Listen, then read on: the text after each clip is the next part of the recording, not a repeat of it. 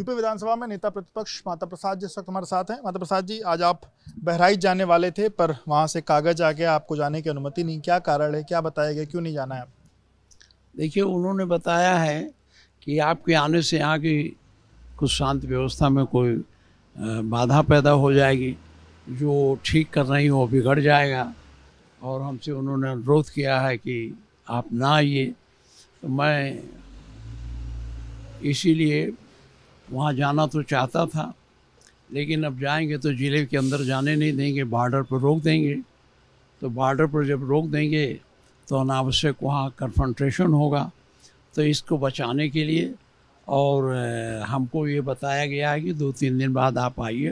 ये किसने कहा आपसे? हमसे ने हमारे सेक्रेटरी ने कहा है कि डीएम से बात हुई है डीएम रिक्वेस्ट किए हैं कि तीन चार दिन बाद हमें सेक्रेटरी ने बताया हमको लिखित नहीं मिला है हाँ। मतलब आप दो तीन दिन बाद जाएँगे तो फिर आपको जाने की अनुमति मिलेगी आप देंगे कि चाहे नहीं देंगे तब भी मैं तीन दिन बाद जाऊँगा। आज का जो कार्यक्रम आपका आया था आप उस गाँव में जाने का तो कोई ऐसा कार्यक्रम नहीं था? आप तो ज़िले में तो वो इसलिए नहीं भेजा था लेकिन मैं वहाँ राम मंगली जाता और अपने कार्यकर्ताओं से मिलता और अगर हमें वहाँ से जाने की वहाँ तक अनुमति देते तो मैं जो ज़रूर जाता।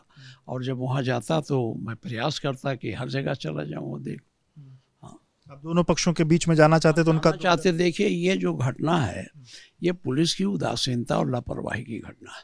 प्रशासन में जिस तरह की व्यवस्था करनी चाहिए जो अखबारों के माध्यम से हमने पढ़ा है अगर हम वहाँ तो गए नहीं देखे नहीं हैं लेकिन जो अखबारों में पढ़ा है उससे ये लग रहा है कि प्रशासन अगर चाहता तो ये घटना टल सकती थी।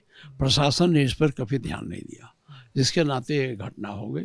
मेरी मांग है इसकी उच्च स्तरीय जाँच कराई जाए और जाँच करा के दो जो भी इसमें दोषी हों उनके विरुद्ध कार्रवाई की जाए। उच्च स्तरीय मांग के लिए आप सीएम से भी इसको लेकर के कोई गुजारिश? अभी तो आज अभी तो यही आपसे कर रहे हैं इसके बाद हम फिर सीएम को भी चिट्ठी लिखेंगे सब जगह आज आप फ़िलहाल वहाँ तो नहीं जा रहे हैं? आप जा रहे हैं।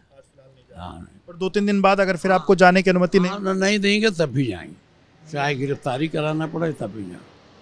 पहली बार आप वहाँ जाने का प्रयास करिए इसके पहले भी आपने प्रयास इसके पहले भी प्रयास किया था तो एसपी ने मुझसे रिक्वेस्ट किया था। हाँ। एक हफ़्ते के अंदर दूसरी बार आपको मना हाँ हाँ हाँ हाँ।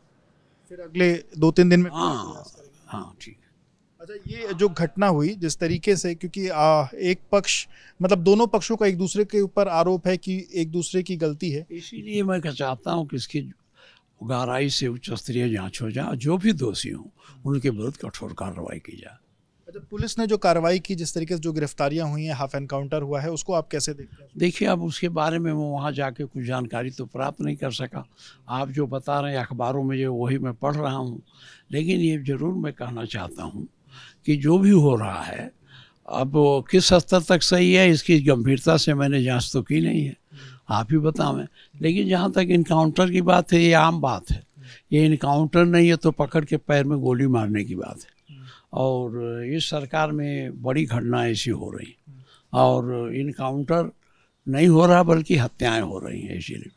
अच्छा वहाँ इस तरीके की जो मतलब मूर्ति विसर्जन की जो प्रक्रिया लगभग तीस सालों से चल रही थी इस बार ही ऐसी घटना हुई तो क्या आप इसके पीछे कोई साजिश की भी आशंका जताते हैं? देखिए अगर पुलिस बल हर साल अब हमें तो जानकारी नहीं है क्योंकि वहाँ के लोगों से मेरी कोई बात हुई नहीं है। लेकिन मैं जब वहाँ नहीं गया हूँ तो इसके बारे में कैसे बता सकता हूँ? जब वहाँ के लोगों से पूरी बात हो जाएगी, तब पता चलेगा। बिल्कुल तो मतलब शुक्रिया बात करने के लिए। आप माता प्रसाद जी को सुन रहे थे, उनका कहना है कि फ़िलहाल उनको वहाँ जाने से रोक दिया गया है, पर वो दो से तीन दिन बाद फिर वहाँ जाने की जो कोशिश है, वो करेंगे और वहाँ जाकर दोनों पक्षों से मुलाकात कर और उनकी जो दुख दर्द है, उनको समझेंगे और इस पूरे प्रकरण में उन्होंने उच्च स्तरीय मांग की भी उच्च स्तरीय जाँच की भी मांग की है।